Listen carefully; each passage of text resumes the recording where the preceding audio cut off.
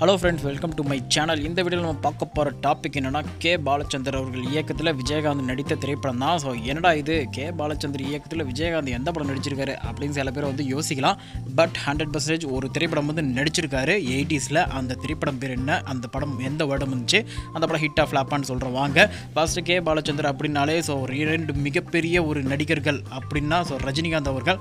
ரஜினிகாந்த் அவர்களோட முதல் திரைப்படமே வந்து கே பாலச்சந்தர் அவர்கள் வந்து ஸோ இயக்குன திரைப்படம் தான். ஸோ அதுதான். பூர்வ ராகங்கள்.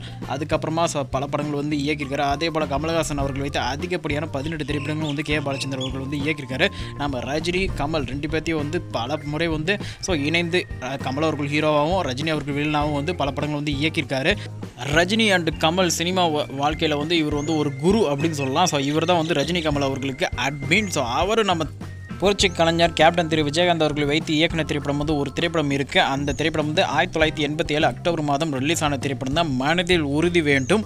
ஸோ எல்லாத்துக்கும் வந்து ஒரு டவுட்டாக இருக்கும். இந்த திரைப்படத்தில் வந்து ஸோ ஹீரோவே வந்து கிடையாது. சுகாசினி திரைப்படம் ஆச்சே அப்படின்னு. ஸோ இந்த படத்தில் வங்காள கடலின்னு ஒரு பாடல் வந்து இருக்கும். அந்த பாடலில் வந்து ரஜினி அதே போல் நம்ம கேப்டன் விஜயகாந்த் அவர்கள் மற்றும் சத்யராஜ் அவர்கள் மூன்று பேருமே வந்து ஸோ சுகாசினி அவர்களோட வந்து டான்ஸ் ஆடிருப்பாங்க. ஸோ ரொம்பவே வந்து ஃபேமஸான ஒரு பாட்டு. அந்த திரைப்படம் வந்து ஒரு சூப்பர் டூப்பர் ஹிட்டு இளையராஜா இசையில்.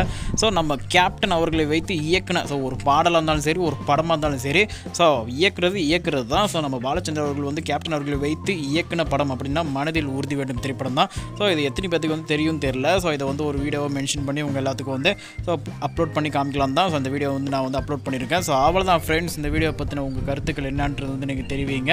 ஸோ அந்த வீடியோ பிடிச்சிருந்தா லைக் பண்ணுங்கள் ஷேர் பண்ணுங்கள் சப்ஸ்கிரைப் பண்ணுங்கள் ஸோ இது வரைக்கும் நமக்கு சப்போர்ட் பண்ணி சப்ஸ்கிரைப் பண்ண நல்லுள்ளங்கள் அனைவருக்கும் நன்றி.